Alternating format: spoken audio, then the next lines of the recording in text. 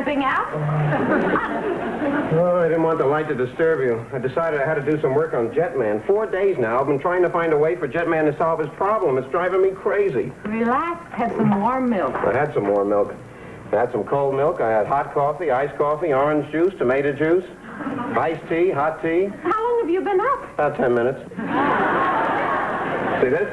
Dr. Destructo has connected five electro bombs to five big clocks in Central City. And Jetman has only ten minutes to find the bombs before they go off at midnight. So what's the problem? Five bombs in ten minutes? What's the record? Sweetheart, sweetheart, look, you don't understand. The clocks are 50 miles apart, and Jetman doesn't know where the clocks are. And Dr. Destructo has just poured cement in Jetman's rocket boots. You'll think something. No, I won't. No, I won't. Oh, it happened. It's finally happened. Happens to everybody in this business. It was inevitable. I've lost my touch. Now, if you can only lose your voice. You've woken up McLaughlin, Dick. Gee, I'm sorry, but he is a milkman. He gets up early anyway. Sorry, McLaughlin, I'll shut the window. And your mouth. You know, what worries me is that I'm through as a cartoonist. I don't know what else I can do. I mean, ever since I was 14, I concentrated on drawing. What did I do? What did I do before that that I was good at? I mean, that I was interested in. Can't make a living out of loving your mother. Wait a minute, huh?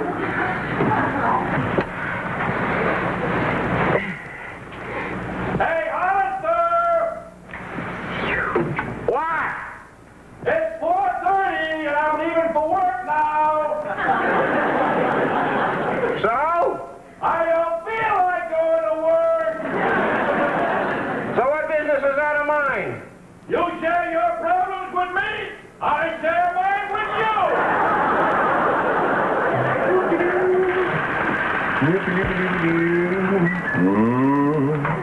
It was all a dream. What? Jetman wakes up, see, and he realizes that he was only dreaming about the bombs and the clocks, yeah? Paula. Paula.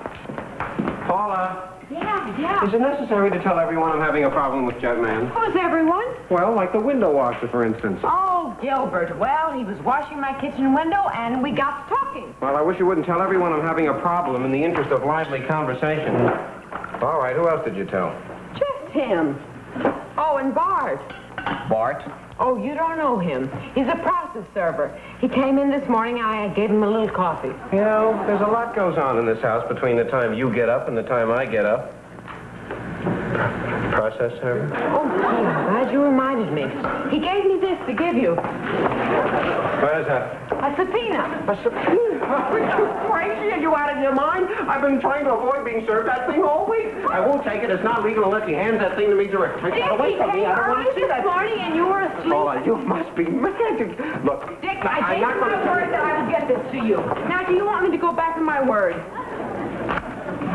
What's it all about, anyway? I noticed Jerry Sargent's name on it. It's an old plagiarism suit I thought was going to be dropped. He insists I stole the idea of Jetman from him.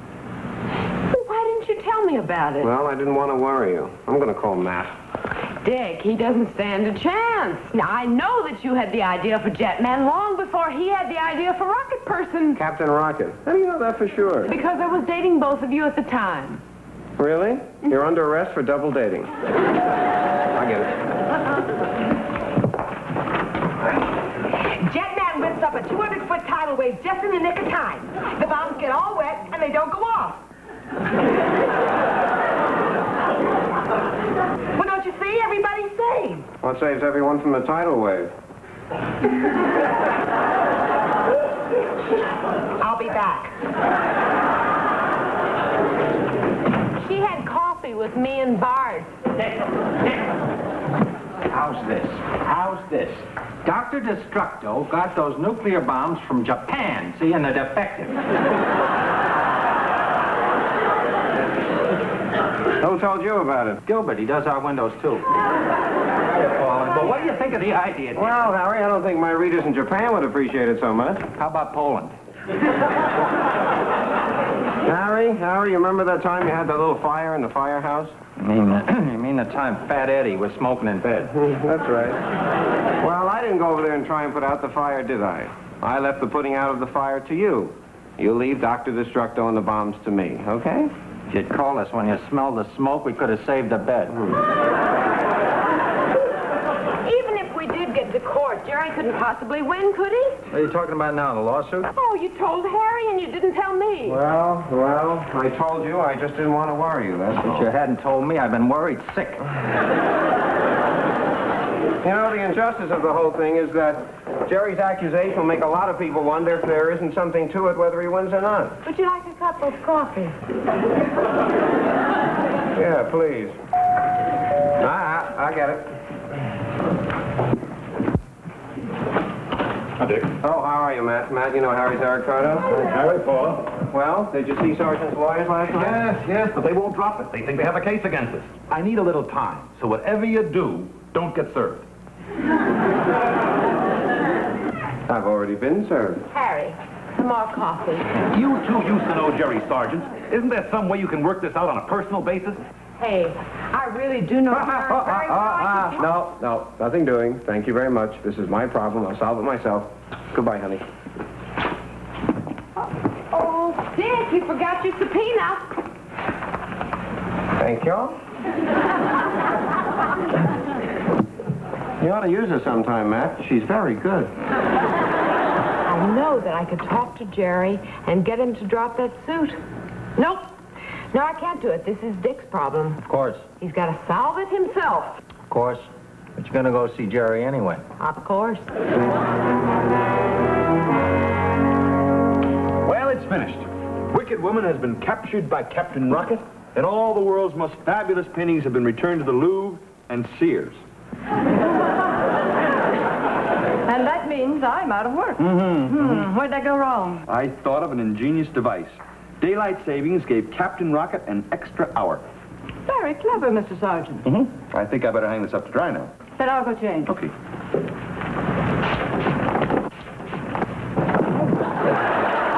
Oh. Hi, Jerry. Paula, how, how nice to see you. How are you? Thanks. Gee, did I do that? No, no, I did that. You did this. Hold on just a minute, please. Mm-hmm. Hey, Jerry, you've changed Rocket Person's uniform. Captain Rocket. Oh, that's Wicked Woman. I thought those were rockets. Listen, Jerry, I've come to talk about something very important. The lawsuit. Right. There's no plagiarism involved, Jerry. Dick no more saw your idea for Rocket Person than you saw his for Jetman. Captain Rocket. Paula, pushing this plagiarism suit isn't my idea. It's the attorneys who work for the syndicate. Well, good. Then you can convince them that this was all a coincidence. Jerry, after all, isn't there enough crime in the whole world for both Jetman and Captain Rocket? Rocket person. Right. Jerry, you can convince the lawyers. You can Ready?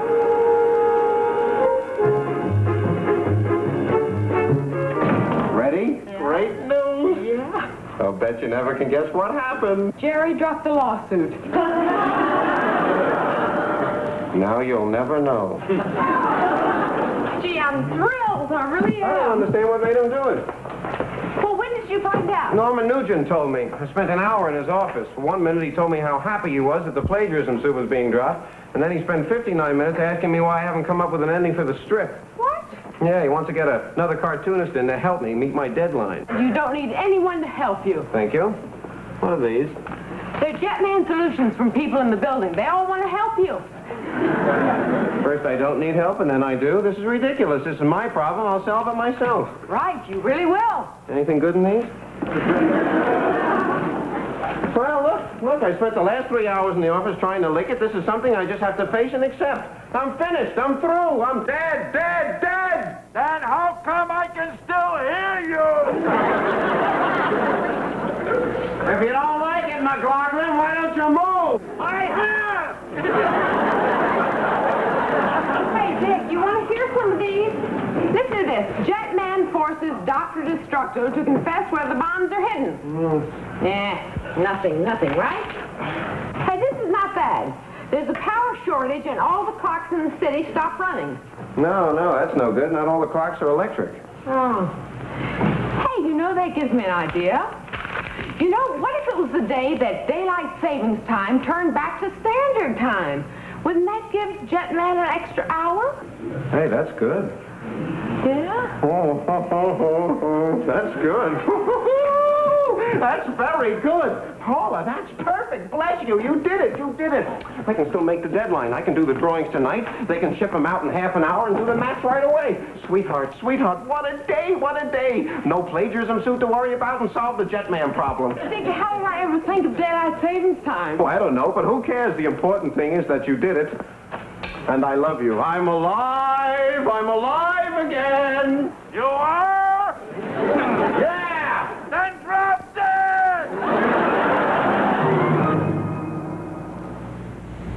This all about? Yesterday, today, trouble on the home front? No, Jerry. It's this memory. I never remember what I remember. You know, I came to your office yesterday and saw your drawings. Mm-hmm. Well, I got home and then I remembered that I had forgotten everything about daylight savings time until I remembered. And that's when I called you an hour ago. Do you follow me? Of course not. Jerry, unconsciously your drawing stuck in my mind. Flattered. Well, um, Skoll or something. Hollister, please. Table for two. I'll put the menu up with it. now, who just came in? Don't tell me it's Dick. You look. No, actually, I guessed. I knew it had to be either him or Rutherford B. Hayes, and I remembered that Hayes died, and since then he doesn't come around as often. Is serious. If you saw us here, you'd think, I don't know what he... Excuse me, lady, for interrupting, but would you care to order yet? Yes, I would like to know if you have a telephone in the men's room. Men's room? Right. Yes. Would you bring me the number of that phone, please? Well, if, if you will tell me who you want, I'll be very glad to go. no, no, no. I, I just want the number of that phone. And would you bring a telephone to this table, too, please? Paula, don't you think you're carrying this thing a little bit too far? Jerry, I've got to get us out of here before Dick sees us. Now, I'll explain everything later. Lady, Thank you. and, and lady, uh. Bye. this, this is the number to the men's room. Thank you. Goodbye.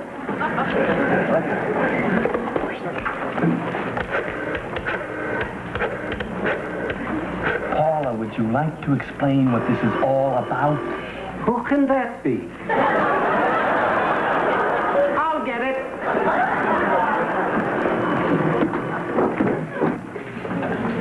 Hello? May I speak to Mr. Richard Hollister, please? Mr. Hollister? Mr. Richard Hollister? Where? Oh, uh, Mr. Hollister, there's a telephone call for you, sir. Well, fine. Will you bring me a telephone, please? I can do that, sir. It's attached to the wall in the men's restroom. This way, please.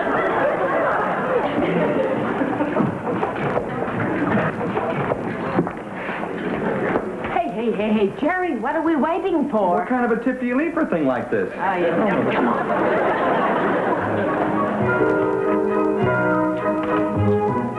Paula? Paula? Do you believe that marriages are based on faith and trust? I certainly do. Then prove it How? Not asking me any questions. I'd just like to ask you one question. That's the one I didn't want to hear. Oh, I'm entitled to ask you one question. All right, but just one. Did you buy that fur coat? No. Where did you get it? That's two questions. No, no. Question one was a two-part question. What was all that talk about faith and trust? How can I have faith and trust if I don't know what you've been up to? Okay. But I don't think you're going to believe the story that I've got to tell. That I believe. I saw Jerry Sargent today. I'm upset, but I'm not distraught. What would you say if I told you that I saw him yesterday? Now I'm distraught. Paula, you saw him yesterday and today? Dick, I saw Jerry because of the lawsuit. I specifically told you not to. Dick, I just couldn't stand by and see you get your name dragged through the mud without doing anything. So I went to Jerry and he dropped the suit. Don't tell me about the suit. Tell me about that coat. Okay. You want to sit down? Well, to begin with, I had lunch today with Jerry at the Pen and Quill. No kidding. That's where I had lunch. Right. If you hadn't, we wouldn't be in all of this now. But rather than have you get all jealous the way you do when you saw us, I thought it would be best if we just snuck out. But we couldn't, because you had to pick a table between us and the door. You must forgive me for that. Well, I had to have you paged. To the men's room. Right. Now, okay, Paula, I'm going to tell you something. That Faith and trust. Jerry and I left the pen and quill, and there was this organ grinder and his monkey. Jerry would not give the monkey a dime because he said the monkey would go out and buy wine with it. Now, this monkey got mad and ran away with my shoe. and the cow jumped over the moon. Do you want me to go on with the story? You can't stop now. Well, as you know, it rained. How would I know? I was still inside the men's room. Well, believe me, it rained. Anyway, I could not cross the street with it raining with one shoe, so Jerry picked me up, but he slipped, and we fell in a mud puddle, so my dress was ruined. Luckily, Jerry's apartment was just around the corner. And so, instead of coming home with a ruined dress, I went to his place, and he gave me his fur coat.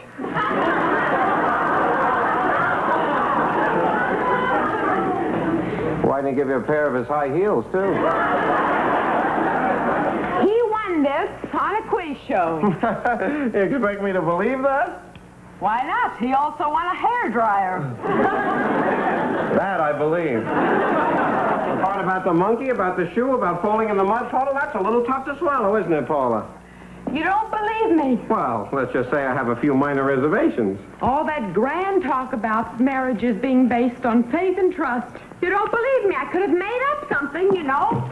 But I told the truth until I got in trouble. I was a dummy. That's the whole thing. A dumb. I could have made up something dumb, dumb, dumb.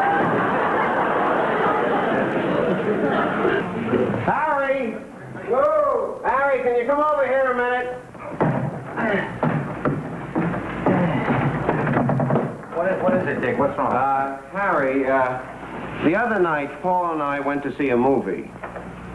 Well, well, that's fascinating, Dick. I'm glad you called me on. Oh, oh wait a minute. No, I, uh, uh, we'd like to get your opinion on it, Harry. You see, Paula sees the picture one way and I see it another. Come over here and sit down, Harry. You see, you see, it's a love story. Oh, I like those. In this picture, Audrey Hepburn is married to Rex Harrison. Now, Audrey goes to have lunch with Sessue Hayakawa. But Rex is having lunch in the same restaurant. Now, she wants to get out of there, so she has Rex page to the men's room. Oh, I love it. I love it, Dick. Now, once outside the restaurant, a monkey steals Audrey Hepburn's shoe. Now, Sex... Dick. It's a monkey? Yeah, yeah, a, a monkey. What's Now- this in color, Dick? Uh, yeah, part of it was in color. Now, Sessue carries her across the street and slips and falls. Now, she falls into a mud puddle and her dress is ruined. Now, they go to his apartment and Sessue gives her a fur coat he won on a quiz show. Now, Uh, Dick, uh, Dick, who wrote this? I don't know, it's based on a classic. Now, A, a, a quiz show on a class. Right, right. Now, the point is, at the end of the picture, Audrey Hepburn tells Rex Harrison what happened. And he believes her. I mean, kind of. Only he doesn't believe her enough, so she gets mad. Now, see, I mean, I'm sort of with Rex. You know, I, I believe her. What do you think, Harry? Who do you believe? Audrey Hepburn or Rex Harrison? I believe Paula.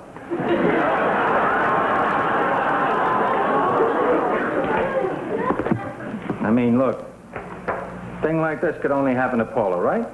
Thanks, Harry. Anytime, Rex.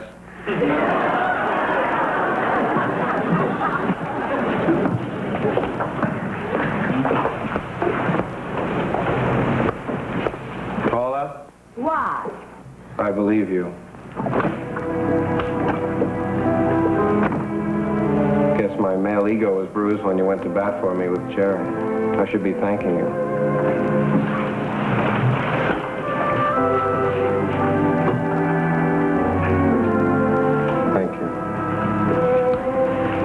Guess I can tell you now why I had to go see Jerry again. No, no, you don't have to. No, I want to. Being as you were so understanding about everything I said, you are entitled to hear the bad part.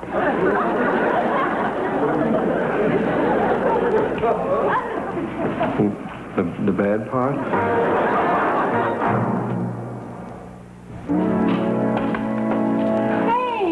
Beginning to worry. Yeah, honey, I'm sorry I'm late.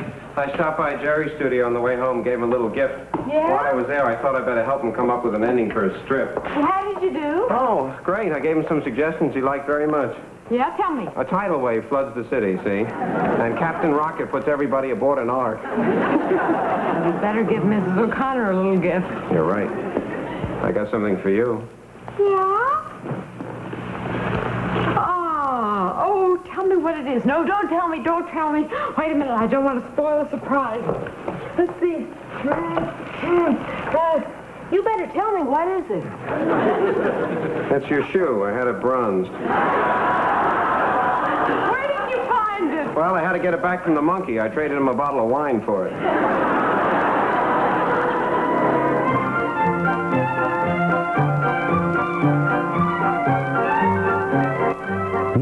From now, the Virginian poses as an outlaw to trap a murderer. Johnny Lancer protects a widow and her son from a hired gun. And on Wanted Dead or Alive, Josh Randall goes after a Mexican mercenary. It's the best of the West on USA's Sunday Showdown. Now, stay tuned as a contract with a killer leaves no room for escape on the original Alfred Hitchcock Hour. Next on USA.